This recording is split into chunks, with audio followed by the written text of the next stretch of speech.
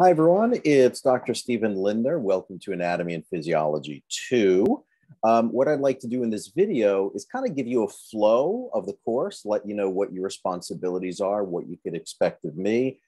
So please make the time to watch this video from beginning to end so that um, you don't have as many questions or uncertainties and you don't feel lost. I want everyone to feel comfortable in my course, know exactly where everything can be found and what you need to do every single week to be successful in the course. So right off the bat, uh, if you click on the left-hand side where it says meet the instructor, it takes you to this uh, handsome individual right here, gives you a little bit of background to myself. Um, has my email address, uh, the office hours if you need to contact me, uh, when we do the Keiser Lives. I typically do them Monday evenings from 8.30 to 9.30ish. Sometimes I go till 10, depending on the information. Um, instructors are only required to do an hour, but I like to give my students their money's worth. So sometimes I go a little bit above and beyond. It's not a requirement for you to attend the Keiser Lives. I do them and I record them and I'll send them out to the entire class as well. You can also find them on my YouTube channel. That's Nutrition Chiro Doc. Nutrition Chiro, C H I R O, doc, D O C dot com. So you can make the time to review some of this information about me. It's good to know about your instructor. Then when we click on the next tab, which is here on the left, getting started, you're going to focus really on this section, getting started week one, two, three, four, just like you did with anatomy and physiology one. Many of you have had me for one already, uh, so you know the flow. But if you haven't, you click on get started and just want you to get comfortable with what's here. Make sure you do have the required uh, books and information that you need. Here is the uh, textbook that you'll need or the ebook. And you'll also use this bundle, not only Saladin, but you'll be using the uh, Connect McGraw Hill uh, for the lab portion. So make sure you, you get that bundle with the Connect Lab access, which gives you the code that you'll enter for the McGraw-Hill weekly lab quizzes. Um, here's the course certification. Make sure you do the required pre-test in week one, and then in week four, the post-test. Uh, the post-test is worth, I think, 5% of your overall grade. So plugging in a zero, if you don't do that, will hurt. So please make the time to do that. Uh, Dr. Linder, I'm having some trouble on uh, with McGraw Hill. What do I do? Here's with the labs. Um, I can be of some assistance, but really, if it's a technical glitch, here's the 800 tech support. They are very quick, very responsive. They'll give you a ticket number. Uh, so McGraw Hill Connect is for the lab portion, and the Keiser tech support information uh, you can find here. Okay, introduce yourself to the class. Click on that. Do that as well. Here are some tips on how to earn an A in the course. And here's the Keiser Library link. Here's our ally information. And if you have questions, ask questions. Uh, I subscribe to that uh, discussion board and I'll reply there. Okay, um, so that's pretty much the get started information. Um, after you do the get started information, then we'll click on, uh, let's go to, uh, let's see, week one, right? So when you click on week one, now we're getting into the content. What do we have to do? So in week one, you can see by the picture and what's on top here, it looks like the brain. It's pretty much all neurology. Um, here are the activities that you'll be doing each week. It tells you the chapters to review in the book. Um, don't forget, there's uh, the lab quiz that you'll be doing from McGraw Hill. It says that it's about uh, three hours of time. Everything's due on Sunday nights. Um, all of the discussion board work your lockdown browser exam, and the McGraw-Hill quiz are all due just before midnight, 11.59 p.m. Eastern Standard Time. That's every single week. Um, I'll go through the discussion board in a second. Here's the lockdown browser exam. Make sure from A&P1 you have the lockdown browser link uh, downloaded so that you can take the exam. There's no uh, password required for that unless, of course, you're trying to open it outside of the lockdown browser. Okay, here's the Blackboard support number if you're having any glitches, and then extra credit. Uh, there is extra credit. It's through the uh, McGraw-Hill Connect. Um, you'll, I'll show you where that is. And if you choose to do it, again, it's due Sunday uh, just before midnight at the end of each week. And the extra credit kind of helps you learn the content for lecture lab stuff. Um, if you want to download any of the PowerPoints, you can find them under the week one materials. Okay, here's the week one McGraw-Hill Connect lab. You'll have the same thing for week two, week three, week four. So when you click on that, especially for the first week, you'll see that there's a few things that you'll see uh, here. Um, let me close this one out.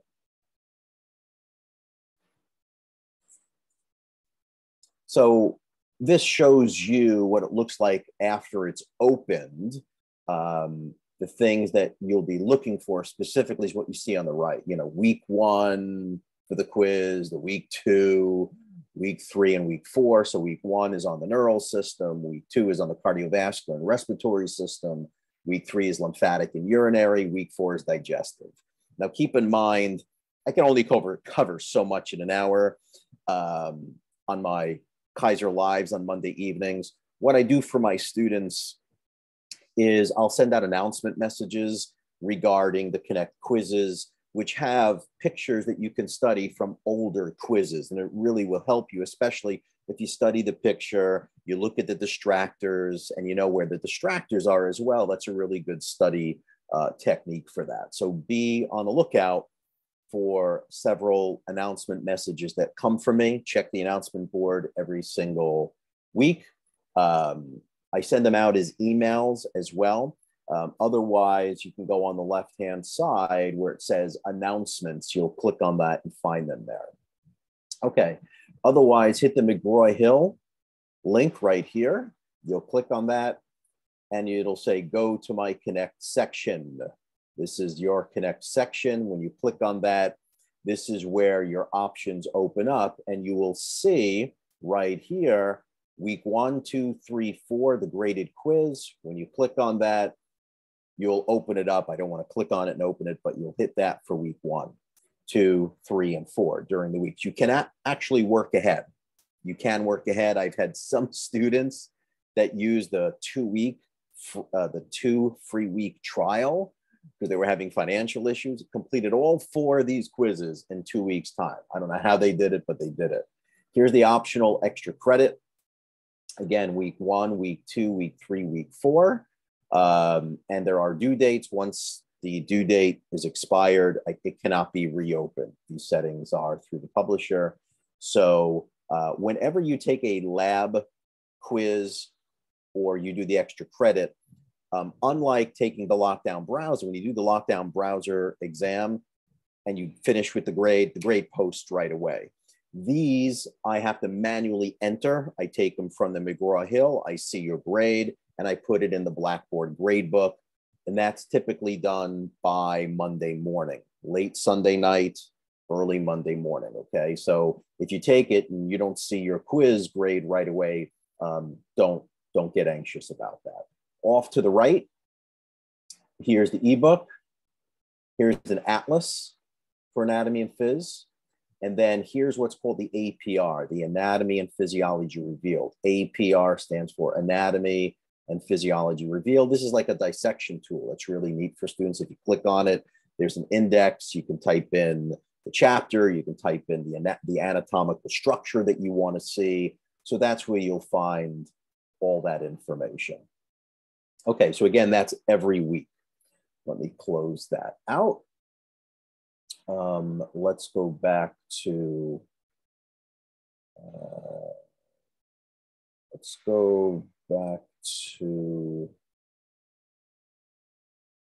just want you to see, even in week two, week two, we're doing different material, heart, blood, respiratory. You can see by the pictures. But again, as you scroll down, the same formatting of what needs to be done, what chapters, again, the discussion board, the exam, extra credit, same things every single week.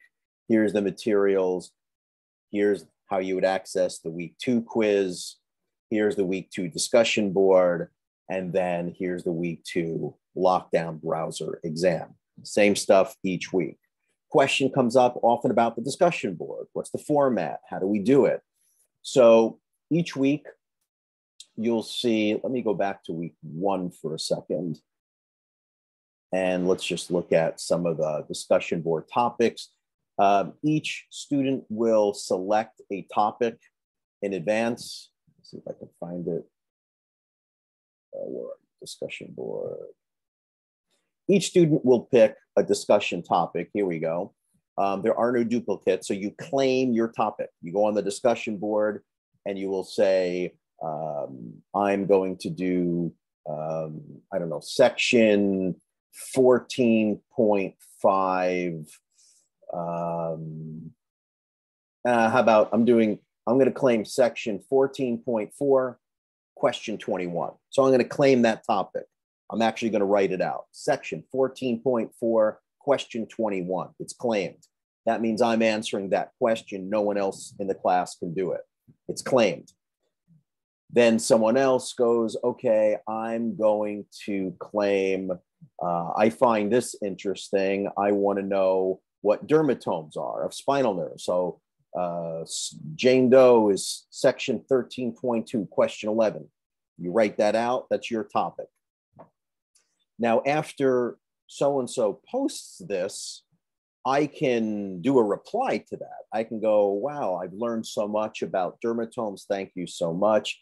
Um, I've also discovered that shingles can affect a dermatome of the face following the trigeminal nerve. Or now I understand when I go to my chiropractor and he takes the pinwheel and does a neurological exam on me, what dermatomes are. And here's a picture that shows the C5 dermatome or the C6 dermatome. Or when I hurt my lower back and I subluxated myself, my L4 nerve root got pinched. And here was the dermatome affected. And not only dermatomes, but he was the reflex affected, right? So it can lead to another discussion where you teach your classmate something, and here's what they need to look like. So here's the student. This is from another class. Uh, they answered question number 24. So they posted that question 24. Uh, this is from Anatomy and Physiology 1. The, this was the topic that they chose. And you'll see that there's always a research portion and then there's a critical thinking portion. If you don't label each of these, you're not going to be able to earn full credit on the discussion board. It's very straightforward, very simple. You'll post your research that you did here. You'll then apply your own critical thoughts to that here, and then you'll include your word count. So each week, each post requires a word count. The main post is a lot more than the additional replies to your classmates, often a little bit less. The word count goes before, the word count goes before your references. And each of these is part of the rubric. If you forget your references, there's points deducted. If you don't do the critical thinking or critical thinking was weak and needs more work, you get partial. Um, if the APA, if the formatting is off, there's some deduction. So this is a really good flow. And then you'll see like a classmate here did a response. They addressed their classmate. They did a little bit of research. They did a little critical thinking. There's their word count. And here's the references. Okay. Every week, that's what you'll do. Uh, there's three posts that are required on three separate days. I suggest that maybe a student post on Monday, and then they post on Wednesday, and then they post on Friday. And they use the weekend to kind of do a little bit of studying. Um, they post on Monday, they read their other classes' work on Tuesday, they formulate a response, they post it Wednesday. Then they read other work and they post another response on Friday. So your discussion board work is done And then on Saturday and Sunday, you can do your quizzes and exam. Just a suggestion, not a requirement. Um, on Mondays, you heard me saying Mondays, I typically do my Keiser live sessions. So when you click the Keiser live link here on the left-hand side, this opens up. It tells you my sessions are 8.30 to 9.30-ish. If you can stay for a little bit, great. If you can't show up, it's not gonna harm you. Um, you would click on this link right here, Blackboard Collaborative Live Session. And when you do, um, this will open up and it takes you to a bunch of links. So here's my week one that will open up and you can uh, join the class there. If you miss it and you want to find out um, where the recorded sessions are, you click these three bars up here and you just go to recordings and you'll find the recordings there. Or you can go to my YouTube channel and you'll find it there as well. Nutrition Chirodoc. Um, here is, let's see, what is this? This is probably week, uh, that's week one, which we did just to show you. Now we're at week three. Again, same flow, nothing new. Uh, here we're doing immune and lymphatic system and urinary system. And it's a lot to cover. So I'll gonna cover what I feel is probably the most important in that hour. And you'll explore some other videos. You'll look at the announcement messages that I send for the Connect quiz to give you some hints and pictures and how to prepare and study. Uh, these are the chapters. Here's what you can do if you want to do the APR. Uh, here's the McGraw-Hill quiz. Here's the discussion. Again, same thing. And here's your exam and extra credit just to show you the flow, but you'll find everything underneath the materials. Here's the week three McGraw-Hill quiz link. Again, week one, you're doing the neural system. Week two, cardiovascular and respiratory. Week three is lymphatic and urinary. Week four is digestive. Uh, here are the discussion topics. Again, claim your topic first. See what your classmates have claimed. If it's already picked, pick something else because the purpose of it is to teach your classmates a topic. You don't want to reteach something that's already been done, but you can comment on something. It may not be your main post, but you'll obviously comment on and add additional information to your classwork's works work so that everyone can learn. Um, there's no late submissions after midnight. It shuts down, and I actually start the grading. I'm up late doing my grading. Um, so um, make sure that these are done in a timely manner. So these are the topics you may find it interesting. Oh, I want to post on um, antibodies, or I want to comment on edema. Oh, my grandma had edema of her ankles. I want to comment on that. Maybe talk about diuretics and certain medications. You have a lot of freedom there. Here's the lockdown. Here's your extra credit. Again, each week there's the opportunity to do it. Now, if you do the extra credit, let's say you get 100 on all of them, you earn two points on your final average. So if you had an 88 average, which is a B, you earn the two points, you boosted yourself up to an A. Whatever the grade is in Blackboard is the grade uh, that you earn. Okay. Um, so that's week three. And then week four, the only reason why I'm pointing week four out is I don't want students to miss. Again, it's the same things discussion board, the Connect quiz, and um, the lockdown browser. But on week four, remember, week one had the pre test, week four has a post test. And it's going to measure like an outcome measurement what information you knew when you started, what you knew now, what you now know at the end when you finish. Okay, so that is the flow of anatomy and physiology too.